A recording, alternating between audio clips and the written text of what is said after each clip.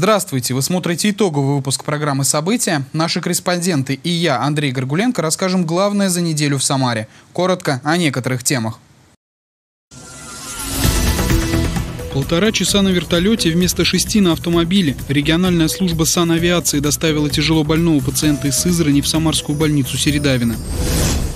Кровати заправлены, куклы рассажены. С понедельника детские сады начнут работать в прежнем режиме. VR-технологии на службе медицины. Четыре самарских студента-медика выиграли гранты на реализацию своих проектов. Полтора часа на вертолете вместо шести на автомобиле. В Самарской области начала работу служба санавиации. Первый полет прошел в штатном режиме. Перед медиками стояла задача доставить тяжело больного пациента из Сызрани в Самару, в больницу Середавина. Специалисты и областные власти уверены, с помощью санавиации удастся спасти многие жизни. Виктория Шарая продолжит. Здравствуйте. Здравствуйте. Вы бригада? Так точно. Слаженная, дружная, профессиональная, ответственная? Именно такая. Такие люди нам нужны. Рад вас приветствовать. Ну давайте, покажете, да? Чем отличается укомплектованность вертолета санавиации от Риана Мобиля, губернатор Дмитрий Азаров приехал увидеть лично. Теперь случаев счастливого спасения людей в регионе станет больше. На помощь врачам пришла современная техника, оснащенная по самому последнему слову медицинской науки. Перед сотрудниками, которые работали на первом вылете, стояла задача доставить тяжело больного мужчину из Сызрани. У пациента диагностировали двустороннюю пневмонию. По пробкам дорога в Самару могла занять до 6 часов, но на вертолете пациента домчали забрали за полтора. Все это время он находился на аппарате искусственной вентиляции легких. А, ну, преимущество тем, что мы ну, выполняем рейсы, то есть прямо, то есть ну, не по дорогам. Скорость 230-220 км в час крейсерская, то есть которая обеспечивает э, безопасную перевозку пассажиров. Но также и по дорогам иногда бывают плохие дороги, возможно, то, что трясет. На вертолете можно все выполнять безопасно, ну, для тяжелобольных.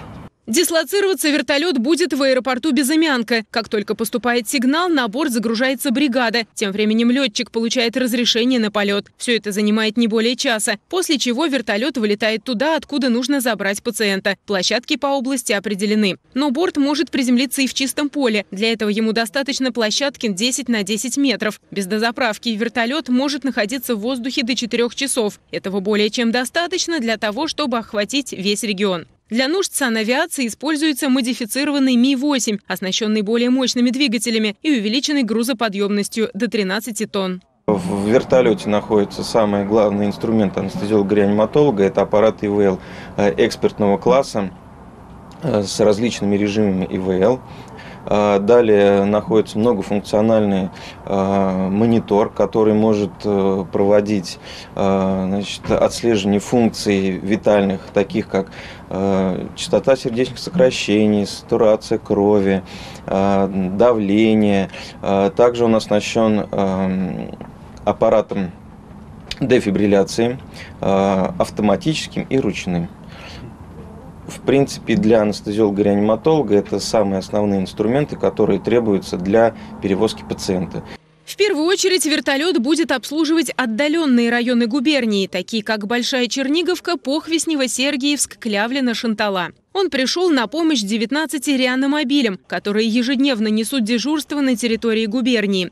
Чаще всего экстренная помощь требуется при сердечно-сосудистых заболеваниях, в ситуациях, когда необходимо вмешательство таракальных или сосудистых хирургов при спасении новорожденных, а также в случае аварий, когда дороги скованы пробками, а пострадавшим нужна быстрая помощь реаниматологов. Служба санавиации в регионе возобновилась впервые за 37 лет благодаря системной работе губернатора. За последние три года произошли существенные перемены в региональной системе здравоохранения. На 90% обновлен парк скорых, почти на 100% реаномобилей. Строятся современные офисы врачей общей практики. Что касается пациента, ставшего первым пассажиром вертолета, то сейчас он находится под наблюдением врачей областной больницы в многопрофильном стационаре.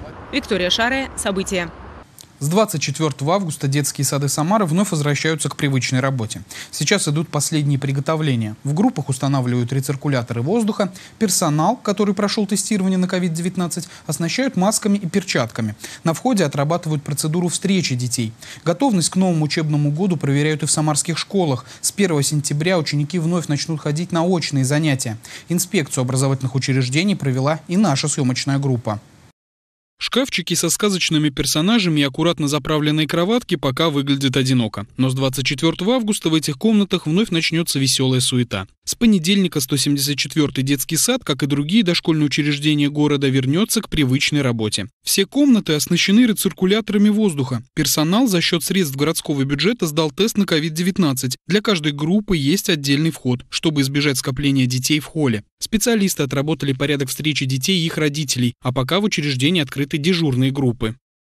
У нас уже большой опыт в нашем личном саду. Дежурные группы работают с 7 апреля. Поэтому мы уже наработали достаточно большой опыт в, как бы, в организации всего этого процесса. У нас обязательно утренний прием через термометрию. Плюс мы еще, кроме этого, два раза температуру меряем. Ко встрече детей готовят и школы. Сейчас завершается их приемка. Министерство просвещения России не планирует заменять очные занятия на дистанционные, а потому важно, чтобы дети получали образование в качественных условиях. Так в 49-й школе сделали капитальный ремонт столовой, полностью заменили техническое оборудование, покрасили стены в цвета, которые выбрали родители и ученики, отремонтировали входы, привели в порядок первый этаж. Все это способствует выполнению задачи, поставленной президентом страны Владимиром Путиным и губернатором Дмитрием Азаровым, обеспечить горячим питанием учеников начальной школы. Есть классы, которые будут принимать пищу первостепенно. Это наши первоклассники, которых мы в этом году набрали 120 человек. И, соответственно, потом вторые, третьи, четвертые. У нас есть еще ребята, которые помимо э, завтраков получают обеды и полдники. Мы все продумали, мы готовы, с нетерпением ждем наших ребят. В этом году отремонтировали 31 учреждение, привели в порядок кровли и пищеблоки. У всех школ восстановили поврежденное ограждение. Кроме этого, были выделены деньги на приобретение дезинфицирующих средств, масок, перчаток, санитайзеров и очистителей воздуха. Весь комплекс безопасности мы предусмотрели и хотим наших родителей успокоить. Все школы, детские сады и учреждения дополнительного образования готовы к новому учебному году. По национальному проекту образования к новому учебному году обновили оборудование и в городском центре развития образования. Теперь в учреждении есть интерактивные доски, техника для проведения естественно-научных онлайн-экспериментов и 3D-моделирования. Это выход на новые рубежи. То есть оно помогает на курсах повышения квалификации показывать, как это работает. И самое интересное, что интерес возникает не только у педагогов, но к нам сюда приходят и дети. Все это позволит учителям, которые приходят на курсы повышения квалификации, познакомиться с новыми технологиями и начать применять их в учебном процессе, потому что таким оборудованием оснащаются все больше школ региона. Также специалисты центра готовы проводить с новой техникой и выездные уроки, чтобы каждый школьник Самары мог получать знания качественно, интересно и с современным подходом. Андрей Горгуленко, Николай Сидоров. События. К учебному году уже полностью готовы 386 школ из 387. Только в 162 завершается капитальный ремонт. Сдать объект должны 31 августа. Чтобы успеть к сроку, подрядчику придется перейти в круглосуточный режим работы. Олег Зверев увидел, какой будет обновленная школа. Капитальный ремонт Самарской школы номер 162 на завершающей стадии. До окончания работы осталось 10 дней. Учебное заведение изменилось радикально. Проведено усиление строительных конструкций, установка новых систем отопления, электрики, водоснабжения, канализации, замена окон, утепление фасада и чердака. Осталось выполнить отделочные работы и благоустройство. Идет полностью внутренняя отделка, то есть одновременно работают и устройство потолков, и полов, и отделка стен. Поэтому Вся школа идет в работе. Работа проведена большая, но по данным Департамента образования Самары, подрядчик идет с запозданием. Есть опасения срыва графика. Сегодня разобраться в проблемах на место приехала глава города Елена Лапушкина. Все дело в кровле. Ее должны были сдать уже давно, но у строителей это еще только в планах. То есть это вот два дня у нас до 20 мы закончим полностью. 162-я Самарская школа расположена на улице Елизарова, год постройки 1961. Капитальный ремонт стартовал в прошлом году. Срок исполнения всего контракта 31 августа 2020. Причем завершение работ власти ждут 28 августа, чтобы успеть все отмыть, завести мебель и оборудование. Для этого подрядчик переходит в усиленный режим работы.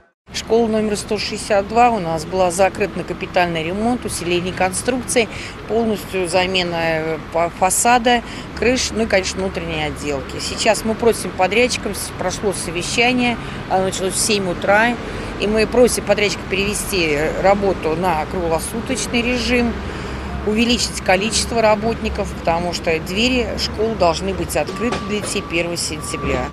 1 сентября в этом году особый день знаний. Из-за самоизоляции вынужденные каникулы продлились почти пять месяцев. Для детей будет настоящим праздником встретиться в стенах обновленной школы с учителями и школьными друзьями. Олег Зверев, Василий Колдашов, Константин Головин. События. Более 1700 сотрудников полиции будут обеспечивать безопасность на избирательных участках в единый день голосования 13 сентября. Об этом стало известно на заседании антитеррористической комиссии в городской администрации. Участники также обсудили и подготовку школ к учебному году. Насколько безопасны образовательные учреждения, узнала Лариса Шалафаст.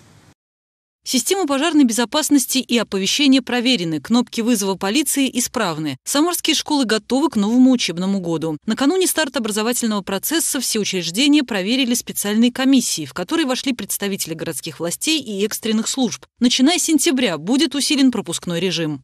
В целях обеспечения безопасности и правопорядка будут усилены имеющиеся посты охраны и пропускной режим. Срок до 31 августа будут проведены инструктажи с работниками по соблюдению и обеспечению внутриобъектового пропускного и противопожарных режимов. Особое внимание глава города поручила уделить состоянию подъездов к школам. Пешеходные переходы и ограждения должны быть в хорошем состоянии, а территория убрана. Еще одна тема повестки заседания – безопасность на избирательных участках. В единый день голосования 13 сентября ее будут обеспечивать 1749 сотрудников полиции. Накануне голосования все помещения проверят кинологи. Везде будут установлены металлодетекторы. Особое внимание уделят и пожарной безопасности. По приемке участковых избирательных комиссий, вот тоже прошу, это уже у нас с вами традиционно и заведено, э, принимать э, участковой избирательной комиссии совместно с внутригородскими районами. В каждом районе создана группа содействия избирательным комиссиям. Председателями, как правило, эти комиссии является глава района и с территориальными избирательными комиссиями, потому что требования все равно, и с пожарниками, безусловно, с МЧС. Все участковые избирательные комиссии необходимо проверять.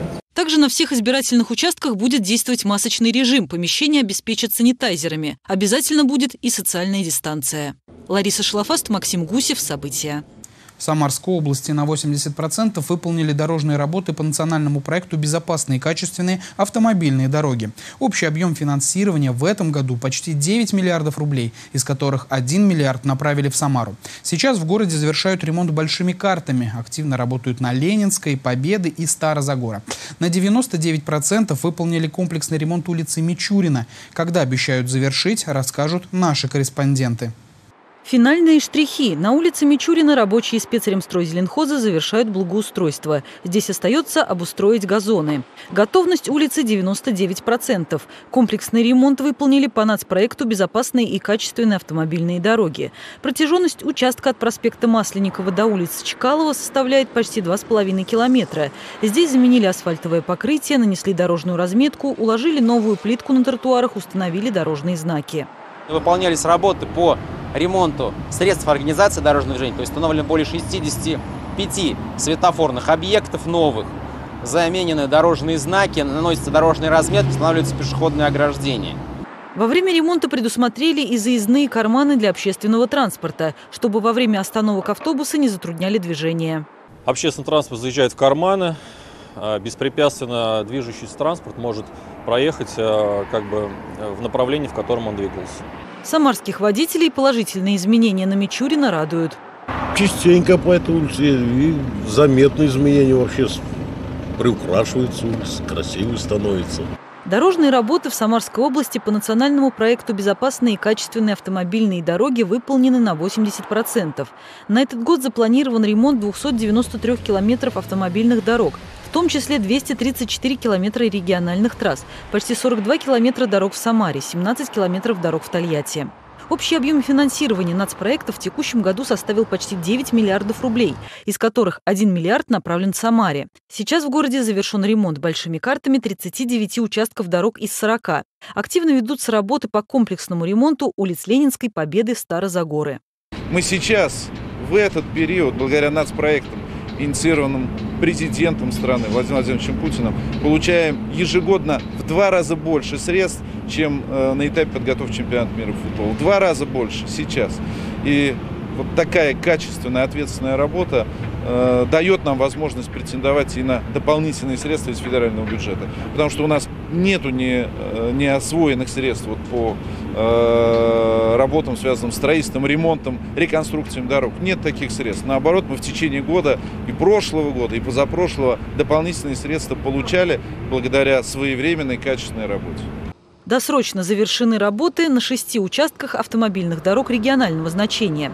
Высокими темпами ведется строительство второго этапа мостового перехода Фрунзенский в Самаре, реконструкция автомобильной дороги Тольятти-Ягодная в Ставропольском районе и мостового перехода через реку Сок.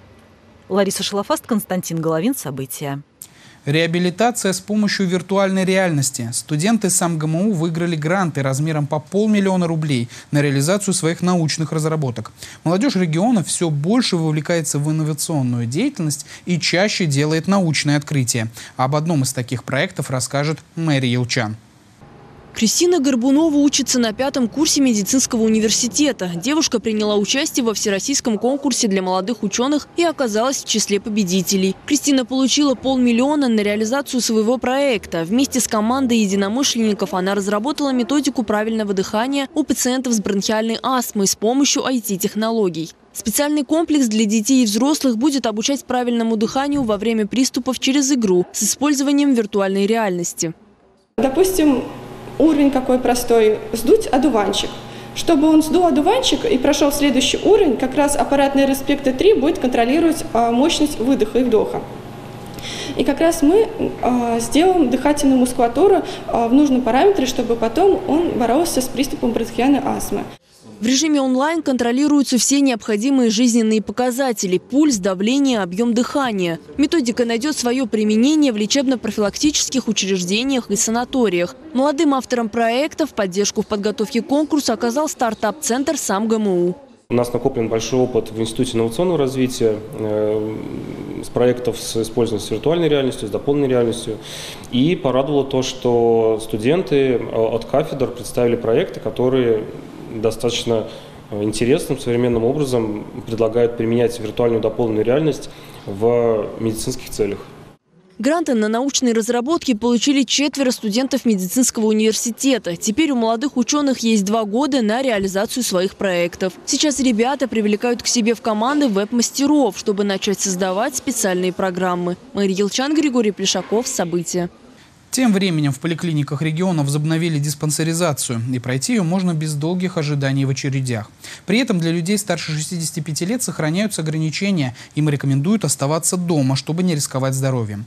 Для всех остальных тоже есть несколько условий, которые необходимо соблюдать при посещении больниц. Об этом наш следующий сюжет. За состоянием здоровья Любовь Кравченко следит постоянно. Диспансеризацию проходит не первый раз. Тем более не надо сидеть в очереди, чтобы попасть на профилактический осмотр. Врачи принимают по предварительной записи. Машина-то профилактику делают, а человеческий организм, он еще нежнее, как говорится, поэтому надо за собой следить всегда. Все больницы работают с соблюдением особых санитарных требований. На входе в медучреждение людям измеряют температуру. Маски и социальная дистанция – обязательное условие для приема. Обязательно пациент должен быть в маске, а, ему обрабатываются руки, и пациент проходит а, в отделение медицинской профилактики. Пациенты попадают в отдельное отделение, и они полностью защищены от контакта с другими пациентами. Диспансеризацию в поликлиниках Самарской области возобновили по решению регионального оперативного штаба по предупреждению завоза и распространения новой коронавирусной инфекции в связи со стабилизацией эпидситуации. Цель диспансеризации – профилактика и ранняя диагностика заболеваний. Одна из задач национальных проектов здравоохранения и демография, инициированных президентом – профилактическая работа. Губернатор Самарской области Дмитрий Азаров отмечает особое значение раннего выявления болезней для сохранения здоровья и жизни людей. В послании он поставил задачу продолжать и расширять эту работу. Профилактический медицинский осмотр проводится людям в возрасте от 18 до 39 лет один раз в три года. В возрасте 40 лет и старше – ежегодно.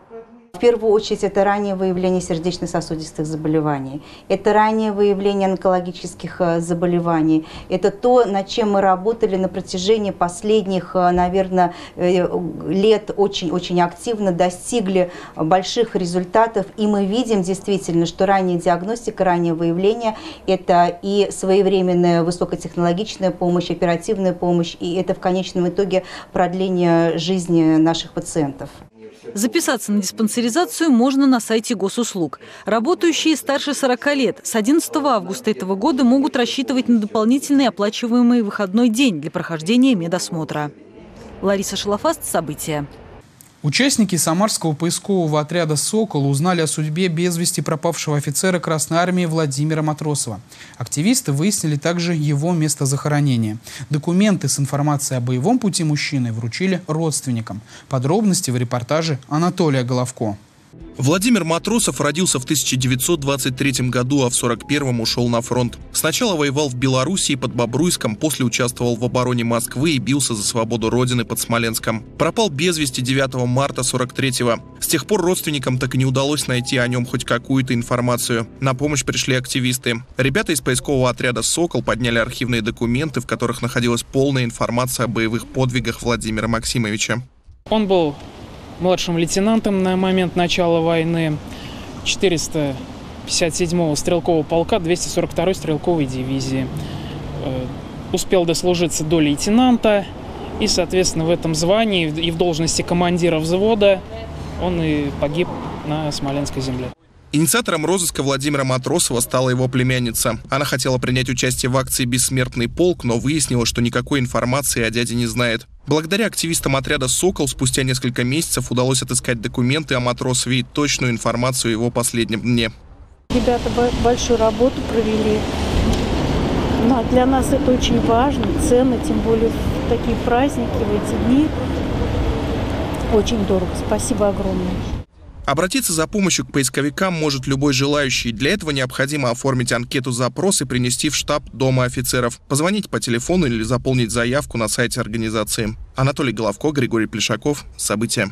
Долгий путь в Самару. Спустя 8 месяцев в местный океанариум смогли добраться редкие краснокнижные выдры. Откуда они прибыли и чем уникальны, об этом расскажем в следующем сюжете.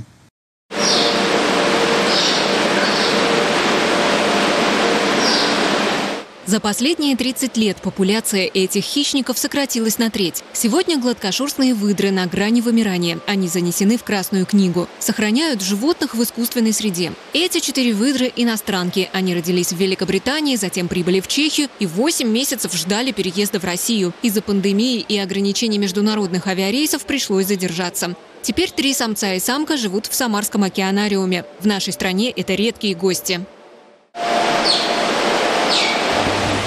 Гладкошерстную выдру в российской природе невозможно. Они обитают только в Юго-Восточной Азии и в Индии. Между тем, это очень общительное, контактное животное, а также очень любопытное.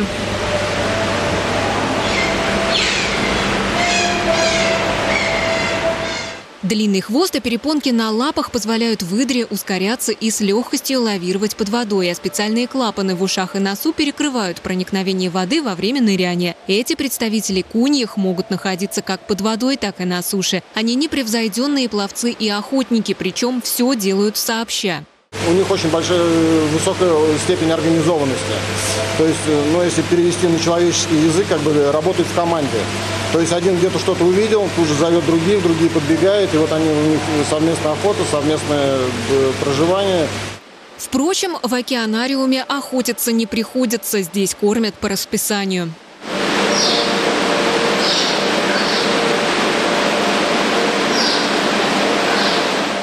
За раз одна особь съедает 300 граммов пресноводной рыбы. Питаются три раза в день. На этот раз в меню речной карп. Практически все время выдры резвятся и играют к людям, относятся приветливо. Сейчас этим особям три года. В искусственной среде они могут прожить до 15-16 лет. В природе гораздо меньше загрязнения окружающей среды, рыболовства и международная торговля ценными шкурками этих животных подвергают вид гладкошерстных выдр серьезной опасности. Светлана Кудрявцева, Николай Епифанов. События. На этом наш выпуск завершен. Всего доброго, удачи!